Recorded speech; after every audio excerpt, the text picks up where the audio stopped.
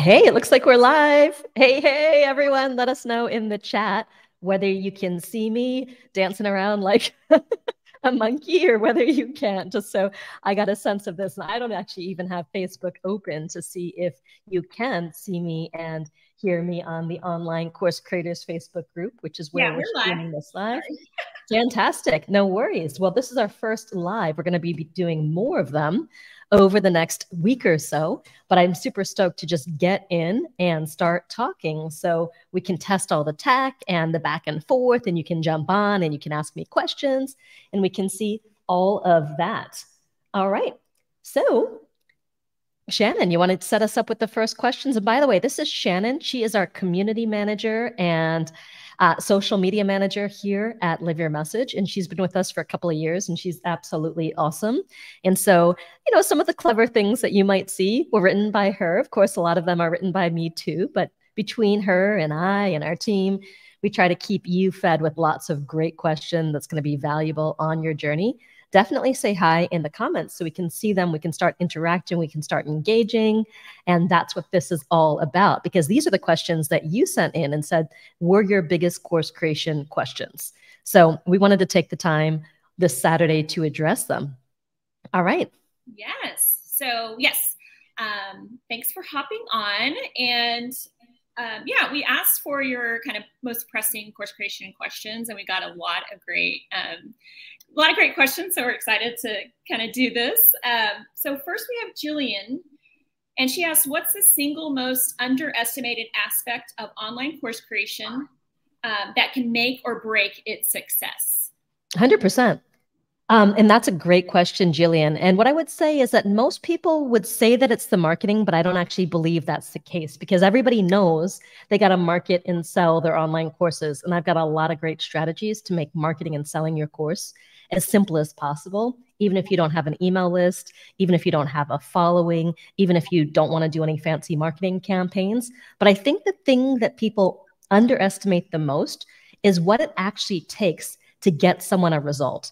Does that make sense? I think it's actually harder to support someone in making a major life change than it is to get someone to give you their money.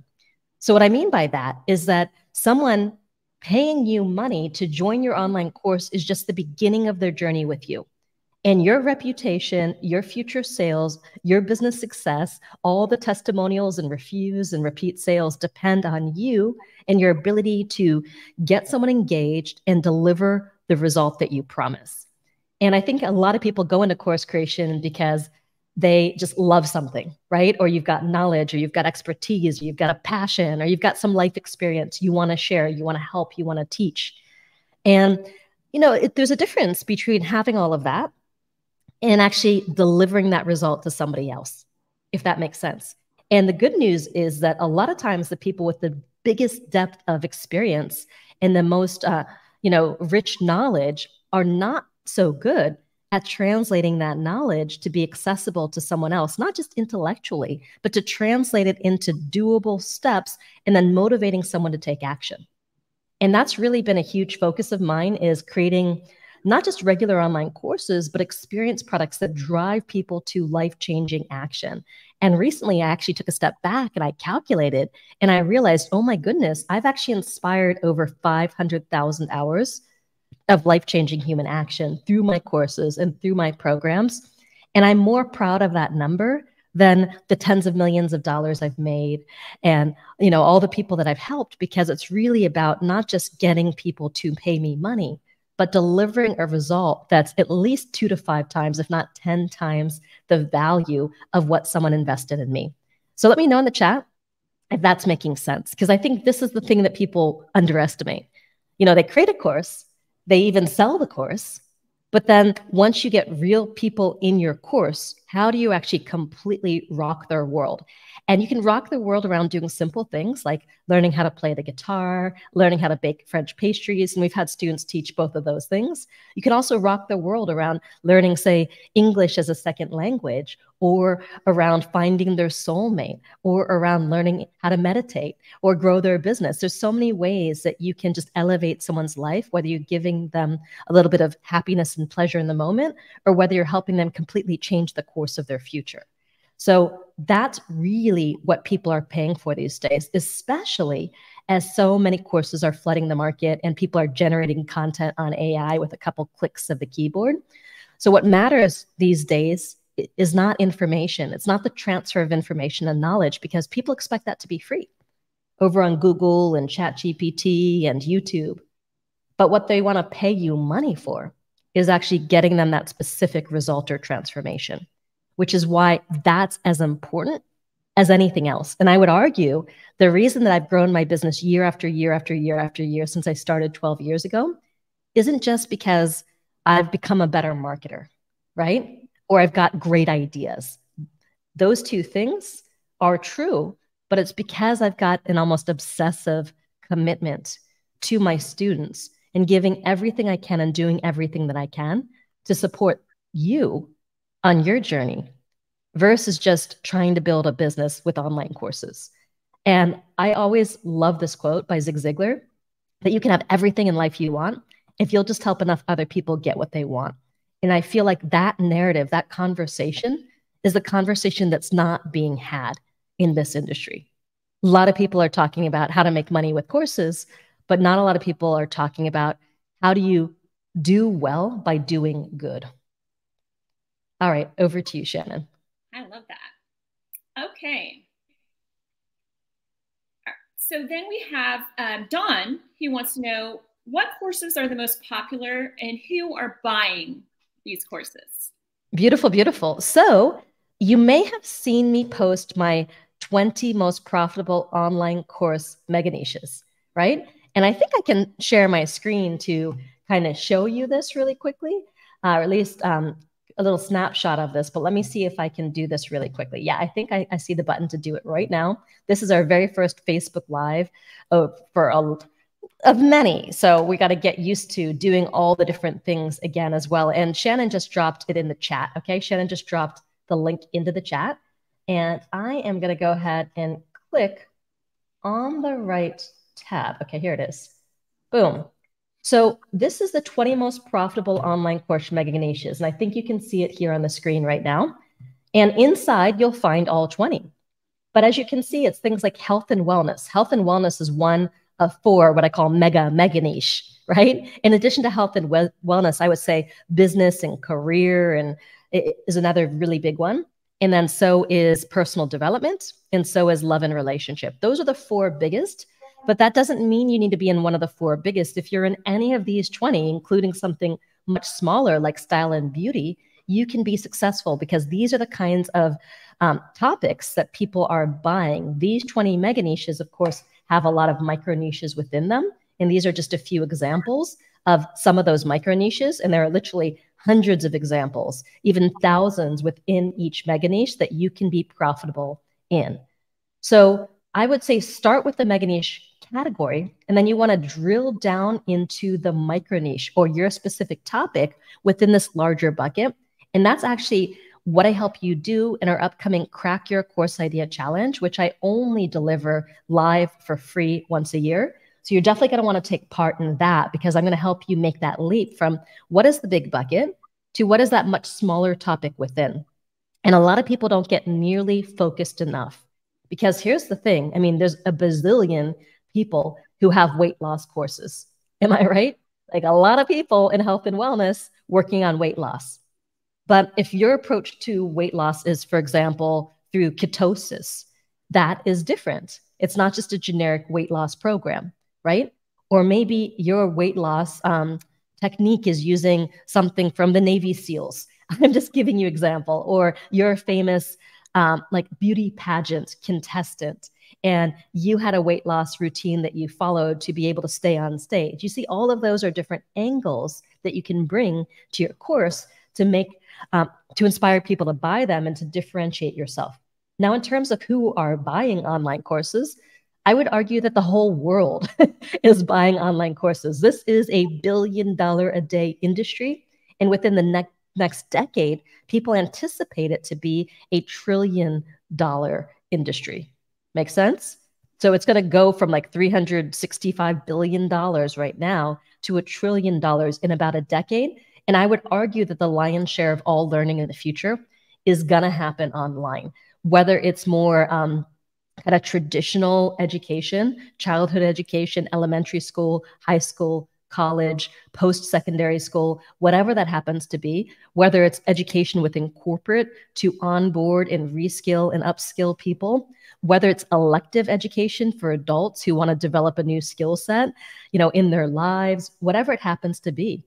There's all kinds of online education. So there's so many applications. Uh, I've got students who are working with government agencies. You know, one of my uh, experience product masterclass grads, Brian Hirsch, is doing courses inside of governmental agencies to help them develop their agile scrum capability for that particular kind of project management. You see? So there's so many applications. There are giant buyers like huge corporations. My student Francois Suoro sold 120 license of his Outlook like a Pro course into just one corporation. And then you've got individual buyers, you know, ranging from people in their teens to people in their 80s and 90s. It's really across the spectrum. This is like a cradle to cradle industry where all kinds of people in all demographics in all countries around the world are investing in online courses. So you got to start with that big mega niche and just you can download this for free, this guide, and then you narrow down into the specific micro niche. And we get even more specific than what you see here in the um, Crack Your Course Idea Challenge. We'll help you come up with what I call your core solution. This is the micro niche, but then you want to go a layer down even more, get to the core solution, then match that solution to your target audience or who's going to buy it. And I give you seven criteria to do that, seven things you want to make sure that you're doing to so these things line up that you're actually creating something for an audience who wants to buy it. Okay. And then we're even going to work on the promise of what your course is all about, which is the selling proposition. All right. So definitely, definitely join us there. Awesome. Yes, so I've dropped the link to join the challenge in the chat. So make sure after this you sign up and we'll see you on Wednesday. Uh -oh. oh, let's see. Sorry, I wanted to remove the mega niche. Um, oh, You're back. Yes. We're working out. We're working out the uh, the kinks right now. Yes, this is our test Facebook Live. So thank you for everyone who's engaging with us. And, um, you know, someone wrote, makes sense, need them to get results. And I think there's a little trick that people actually have to do in order to be able to, for us to see their names here. Yes. Is that right? What is yes. it they have to do? Um, let me drop that. Yeah, you have to actually do something that Shannon's going to drop in. I don't know what that is. It takes it just as letting StreamYard see um, Facebook Live comments so that we can see the see your name. Um, it yeah. takes like two seconds. We can see your comments now, but they're not attached to names. Yeah. So if you actually click this link, then you can kind of authorize Facebook to pass over your name so our streaming technology can see it. So let's keep going. Let's answer some more questions. Yeah, got some good ones here. Okay, so we got a great question from Mangla who wants to know what's the best way to start selling a course? Are there any first steps to take? 100%. So the best way to start selling a course is actually before you create the course. Okay. And the reason why I say that is a lot of people spend a lot of time in total isolation, sometimes six months or a year, recording everything versus pre validating your idea with your market ahead of time. And that's super dangerous because you could run the risk of creating the wrong thing. And if you can imagine all that time and all that effort, and then someone doesn't want what you have to offer. So I recommend before you get too attached for a particular idea, that you actually go out there and you validate that idea with real people. And I got to grab something. Voila, I've got all of my, my teaching models next to me so I can pull out the right model at the right time here. So, yeah, here it is. So, oops, that's the wrong one. yes. Here it is. Okay. I had my housekeeper come yesterday. So this is your circle of influence. And I've got a newer version of this I got to get printed. But you want to start towards the center of your circle in, of influence with friends, associates, and friends of friends because marketing is easier over here, right? And a lot of people start to try to go out with like cold traffic and total strangers and other people's audiences. But the thing is, the farther out you go from the center of your circle of influence, the more you have to have your idea and your marketing completely dialed in before anyone's going to give you the time of day. So I say use your, the center of your circle of influence to just dial in that idea before you start to make it and get pre-sales. And this is actually the process that I teach in my experience product master class. It's this kind of center loop. I call it the rapid success loop, where they really take this minimum viable product approach and you launch it with the core amount of information you need for someone to say yes. You get the pre sales and then you get paid, which is awesome. You get paid to create your course. And that honestly is not only um, a risk free way to do it because you already have the money in the door before you build everything, but it also lights a fire under you to get it done. Because what I find is that without that constraint where you've got a deadline to deliver to somebody, many people spend six to 12 months creating something right? But when you know you got to ship something the next week, you just get it done. And a lot of times it's just as good as it would have been if you had agonized it over a long time. Plus, I do recommend a lot of times the first time you deliver something, you don't pre record it all. If you're comfortable going on a live Zoom and then you can see the chat going as you deliver your content, and you could do this over a whole series of Zooms, you don't have to do it all at once then you actually start to see what do people resonate with and what do people not resonate with. And then you can use that to adjust and to adapt and realize things that you thought were clear aren't clear, or things that you thought were important people don't care about, or things that you didn't think were important. People like, where is this thing? How do I know this thing? You know, there's a lot of questions that people have for me that I, I'm like, I didn't think this was a big deal, this particular question, right? But then everyone needs to know that before they can move on. So I iterated my course over and over again like this. And before I went and pre recorded and made that investment, because it's a huge time investment and money investment, I did it in this more minimum viable product approach. And now, once I've dialed in and kind of got the thing in the can and the fancier, you know, in a fancier way, people are like, wow, it's like you're reading my mind step by step. I'm like, that's not an accident. it's because I did something in this minimum viable way first so I could get that feedback.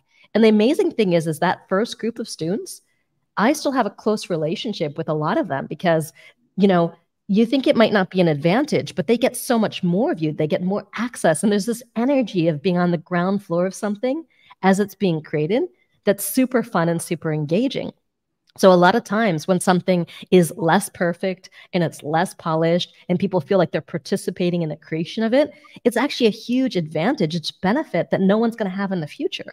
So, these early students get more access to you, there's an energy of it, and people love that. So, this is the approach that I teach my students in the Experience Product Master class. And it really helps them step into their course get it out, use their center of influence to sell their first copies. Because I believe that every single person has, uh, you know, you know enough people already, no matter who you are, how introverted you are, how antisocial you are, where in the world you live, no matter all that, you've encountered enough people over the course of your life that you can get in touch with in some way, shape, or form. Whether it's you know you've got them on your phone and you can text them or you can call them whether you're connected on social whether you have a mutual friend who can reintroduce you you've got enough people who you have encountered over the course of your life to launch profitably at least you know a couple times right and it take your business probably to about a hundred thousand dollar a year mark if your idea is dialed in which is why you want to join the crack your course idea challenge because if your idea is dialed in nope even your best friends ain't going to buy this, right? so if your idea is dialed in, you got enough people that you're already connected with to reach that $100,000 level. And then once you do that, you got more money to invest in things like traffic, you know, ads, things like that. But a lot of times what happens is people invest in all those things. They don't have a dialed in idea. They just waste or lose that money, right? And then it becomes a really expensive, challenging proposition. And so I've got approaches and campaigns to help you tap into resources that you already have to sell your course, to deliver your course, and to do it as quickly and easily as possible. Yeah. And I'm going to be teaching a whole bunch of stuff right now, like the challenge and the mega niche PDF. I'm going to give you a lot that's going to help you, you know, take some of these ideas and get going with them. Awesome. All right. so next we have, okay, so we got this question from Bruce, um, and I thought it was just absolutely speaks to our current times of AI. And yes, how much influence or damage do you think AI programs like ChatGPT, Jasper, and others are going to have on online courses in the upcoming foreseeable future? And how do you think it's going to affect the marketplace and student and clients' trust and desire to participate going forward? Yeah. Well, those are two questions. I'm going to put the trust question aside for a moment and just talk about the impact of AI first. So, AI is going to um, exacerbate something that's already been happening, which is the devaluation of knowledge and information. You know, already people feel like they can find almost anything they want to know for free on YouTube, you know, or on Google or even in ChatGPT right now. Like you can type in almost anything and find free content. Am I right? And the creators on YouTube get paid because of advertising dollars. So you don't even have to pay for it. They still find a model in order for those people to get paid. So if you're trying to pay for the same thing, or sorry, get if you're trying to get someone to pay you for the same stuff that they're going to be able to find for free in YouTube or Chat GPT or whatever it happens to be, they're not going to do it. And even if your course is a bit better because it kind of lays it out, they don't have to cobble it together between different videos, it's still not enough to have people forking over large amounts of money. So you have to differentiate by giving people things they can't get for free. It doesn't mean there's no information or knowledge transfer within your course or program. It just means that you don't stop at information and knowledge transfer. You add on what I call the experience formula and the experiential elements, right? I have a whole formula that I'm going to be teaching you in an upcoming workshop. You add these 10 core experiences. You avoid these 10 anti experiences. So, what you do is you're creating an experiential course, right? Where there's feedback loops. People feel like they're part of a process.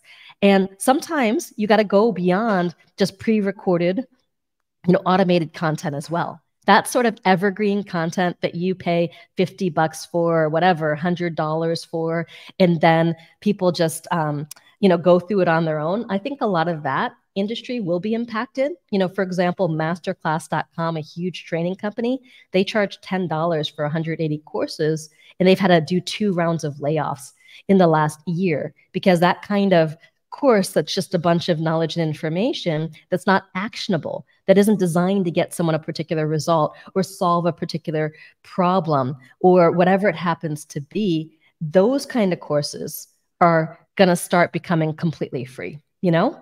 But the courses where you actually take people step by step through a process to get them a specific result or help them overcome a challenge or help them feel something new or do something new or achieve something that they couldn't have done on their own that goes also goes beyond information.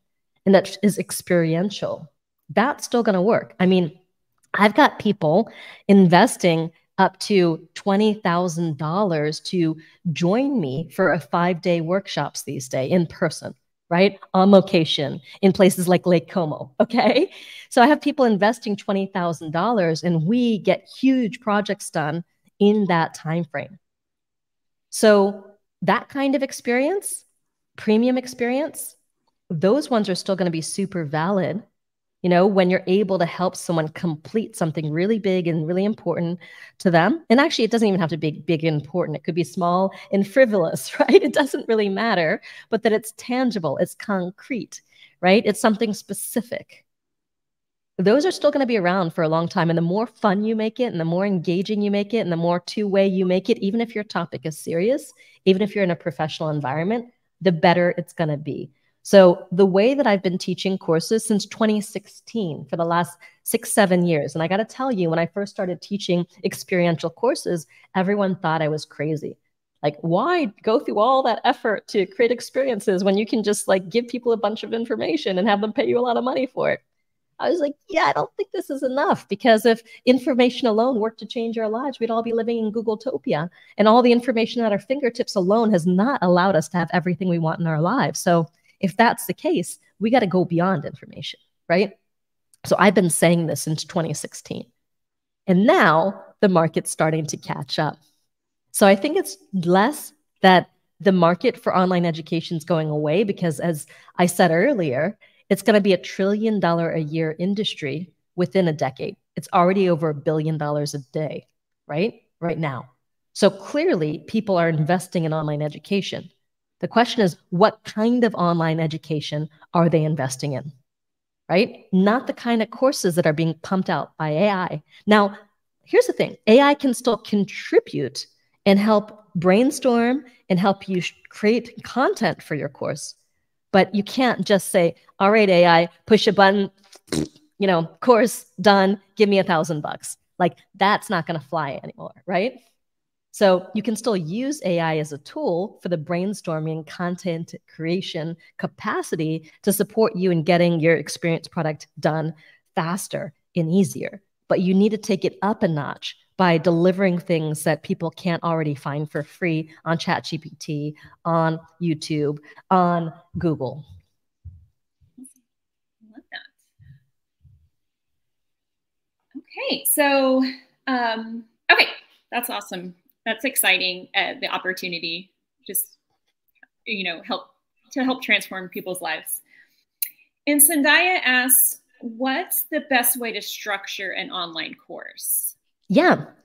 So the way that I teach online courses, um, which is all about people saying yes to a mission, which is one specific problem or solution that you deliver, you, you solve or deliver through your course, all the way across the finish line to mission accomplished, and create what I call unstoppable momentum along the way, is that the way you structure a course isn't necessarily linear and logical.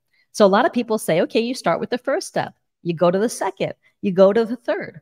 But the problem is, is that a lot of times the first step is really boring, right? Or it's challenging. And if you start there, you're going to lose people before they've gained any momentum whatsoever. So I'm going to give you an example. One of my students was creating a course on how to get your music licensed on television and movies, right? And so the very first step that he had in the course was a logical step.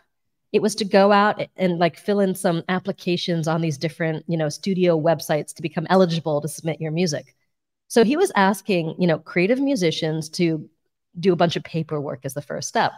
And so logically that makes sense but you are not creating courses for artificial intelligence you know you're creating courses for humans so i recommend having the first step really in, in to structure your course in a motivational way which is how do you ramp people up through small, simple steps to larger steps, right? Small steps, small wins, larger steps, and larger wins. So you escalate them and you build someone's clarity and confidence and capacity along the way because you want to give people challenge commensurate with their skill right? Something that anyone can do. So you want to start getting this kind of action reward cycle going and having people build momentum. And this is all stuff I'm going to be talking about over the next week or two in my challenge in my online course creators workshop series. I do all of this for free once a year.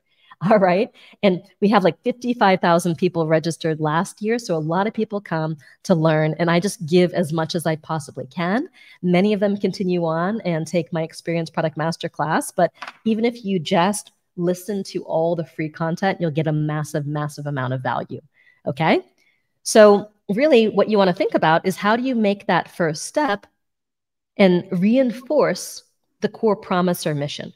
So, back to that music example, I suggested because he was having a lot of drop off that instead of have people go fill out paperwork, that instead, what he'd do is actually have people create their dream 50 list of the 50 TV shows that they would just be thrilled to be on.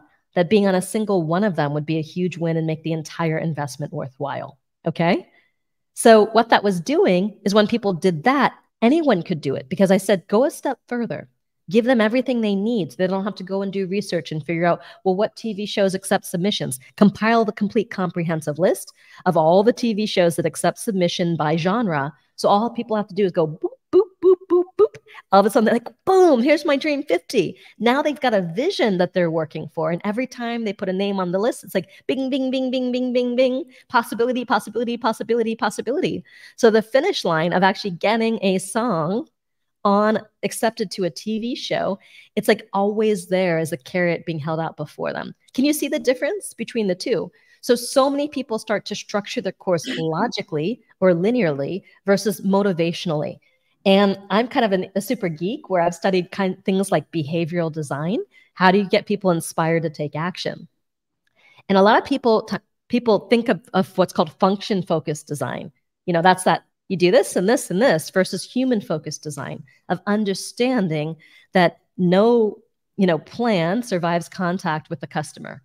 right? No course survives contact with the customer. And you got to understand that people are busy, they're conflicted, they've got fears, they've got doubts, they've tried and they failed again before. And so, what do you need to give them to really ramp them up? And I got a lot of models for this that I teach. But that's kind of the core concept in terms of how to structure your course, which is very different than what most people say, like write five modules and then boom, boom, boom. Yeah, yes, and there's more to it than that if you really want to deliver the transformation, build an incredible reputation, have people referring their friends, and signing up to work with you over and over again. Awesome. And then we got a question from Rose, and um, this is, I think, one of the most common issues uh, people who want to create a course have. And it's basically kind of a kitchen sink course. So she doesn't want to leave anything out but she has so much knowledge. And so how do you decide, you know, what to keep in and what to leave out in your Yeah. Course? Well, that all comes down to the product mission statement, okay? So I describe the product mission statement as the finish line.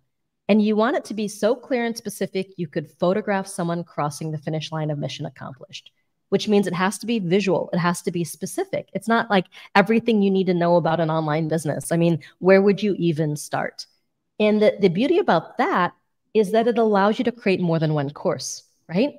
So you don't have to put your entire knowledge and life experience into one course. And I tried to do that when I first got started because I had good intentions. I just wanted to give everything to everybody, but nobody made it through. It was just too much for them to hold. So you want to break it up into these missions, and then you can stack missions. So um, I teach this at my annual Live Your Message Live event. It's my message to money pathway. And basically, you sequence one mission to the next to the next. So when someone finishes a mission, they can see the next one available to them.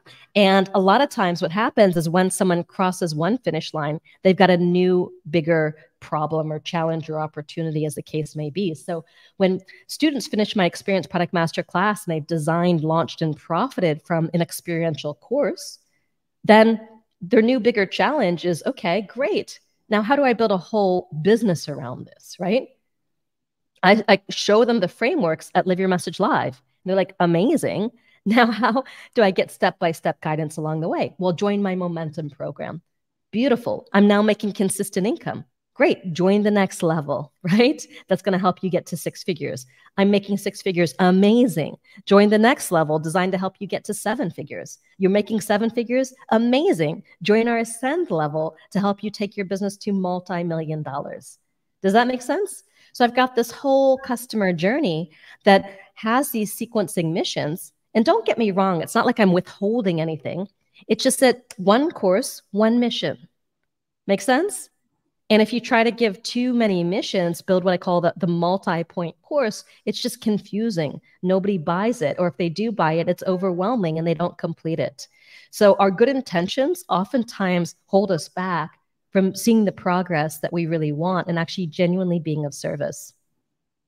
And we forget how many decades it took us to gain that knowledge and we expect people to be able to like absorb all of it in what six weeks or 12 weeks it's impossible right? I can't teach someone everything that i know about business and marketing and course creation in my 12 week program. Now i can help them design and launch and profit from a course but then you can go another level and another level and another level beyond that and build like me a nearing an eight figure business. Does that make sense? So there's so much you can do within your core topic especially if you start to break it out into more bite-sized doable chunks amazing great and then um, evangeline's also asking a question that we see all the time um, so she says I've, i have proven content so that's not my issue but I have a fear of tech.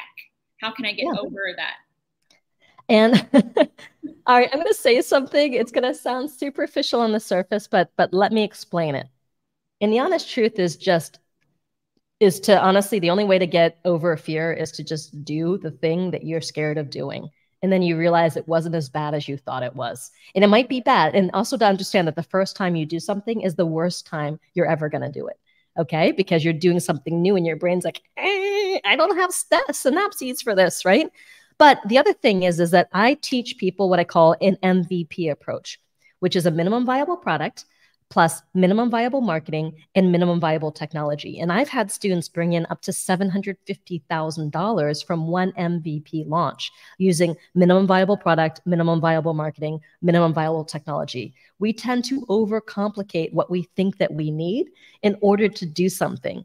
And the truth is that you can ramp up to that, you know, more technologically robust program later on, but use the bare essentials to get going you know, we certainly do things like we build the membership site for our students inside of the Experience Product Masterclass. We do weekly Get It Done Friday calls to help lead them step by step through any kind of tech piece that you may need. But we also say all along, keep it as simple as possible and ask, well, do you really even need this at this point? So you can remove the hurdles to just getting going versus adding hurdles that don't even need to be there. Make sense? Definitely. Um, okay, and we've actually got a question in the chat, so I'm going off book a bit.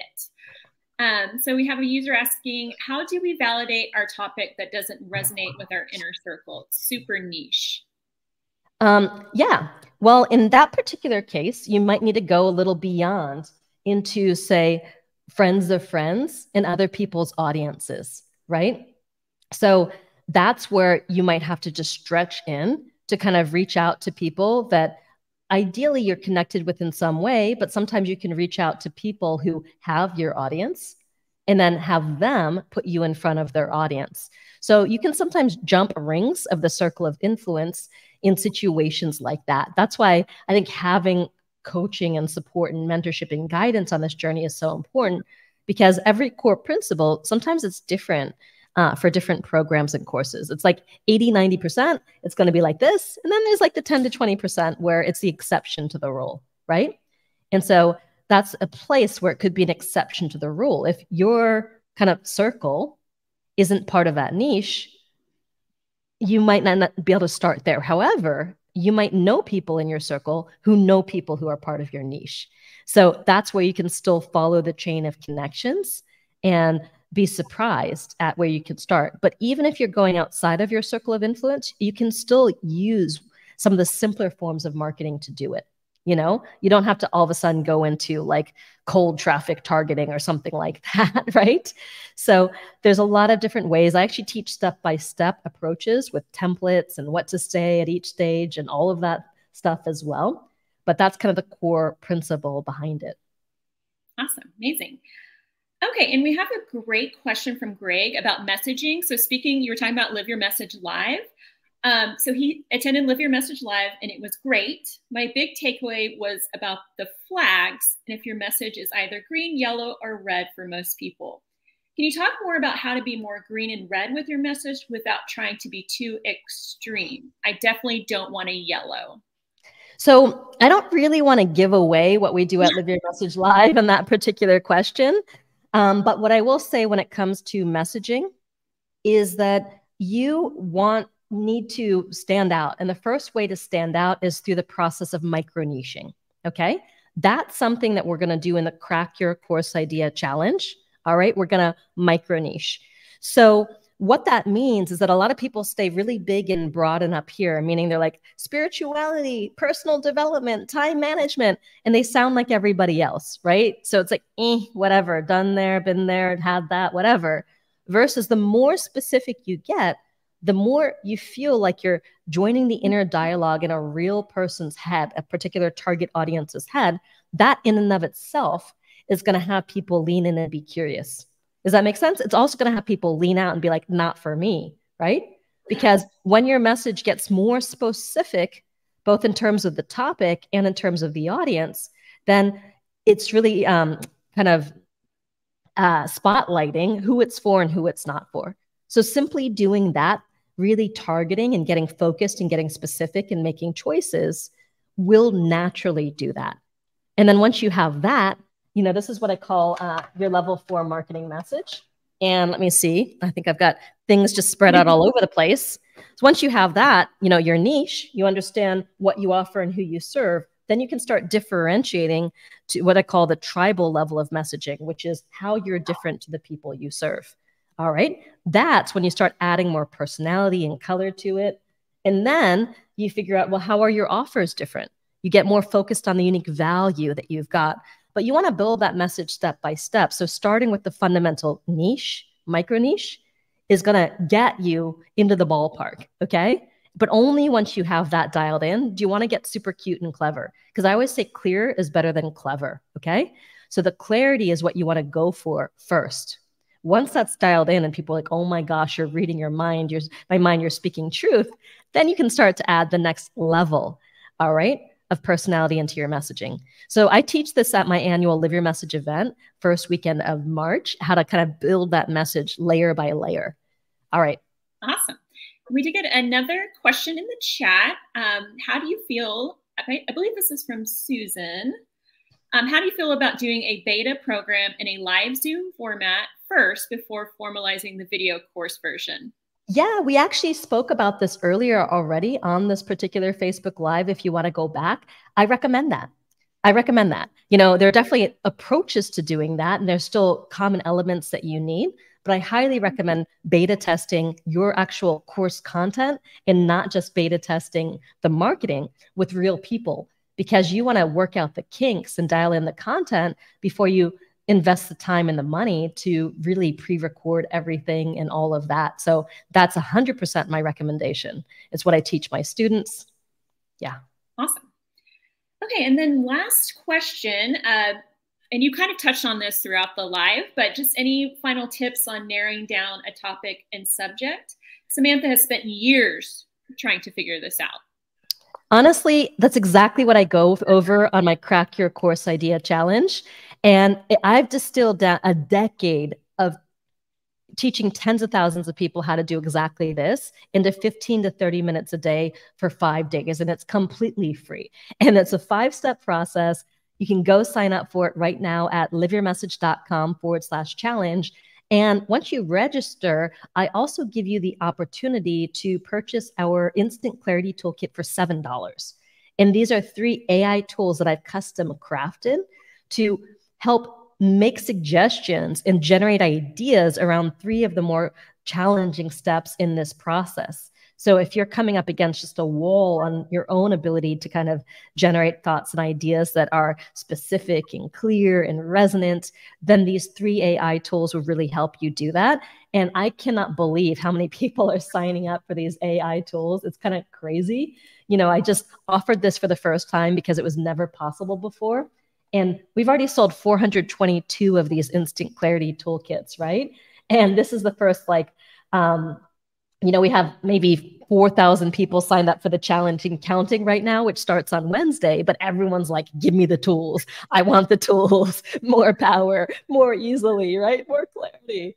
And that is awesome. So I hope you'll join us because honestly, I could try to give you a, a five minute answer, but you really need to go through this 60 minute process. And it includes the worksheets and all of the different things like that. You can have the tools as well. So if you want to just do it and you've been struggling for years and years and years on this, then my two minute answer isn't going to help you get there. But my crack your course idea challenge will help you get there a lot faster. All right. Definitely. And also, we'll be going, Marisa and I will be going live this group for the challenge. Um, and we'll also have a live Zoom coaching call on day four. And that's your chance to get Marisa's like input and feedback to make your idea even better. Um, so, so you definitely the value in this challenge for free is just insane. It, it is insane. I actually have a mini course version of this challenge that people are going to be paying for, uh, other than this one time a year when I give it away for free. Okay.